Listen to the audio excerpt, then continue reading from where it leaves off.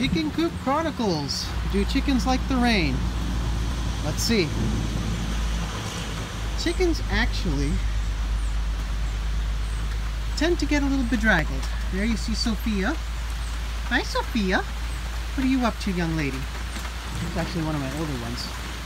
And here are the rest of them, hiding over here. They do get bedraggled, they take shelter wherever they can, and they get wet. Just like the rest of the people outside in the rain. And there's everybody hiding in the doghouse. Did you see that lightning? Hi, chickies. Hello, big phantom. See if we can get a little closer and see inside there. Oh, uh, it's hard to see. We've got three of them in there, four of them. Come on out. Go on. There we go. Daisy, Missy, Phantom,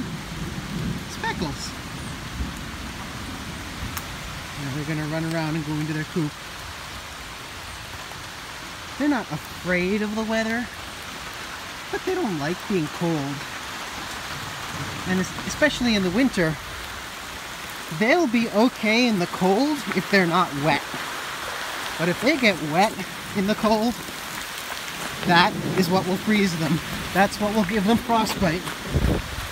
And that's what will hurt them.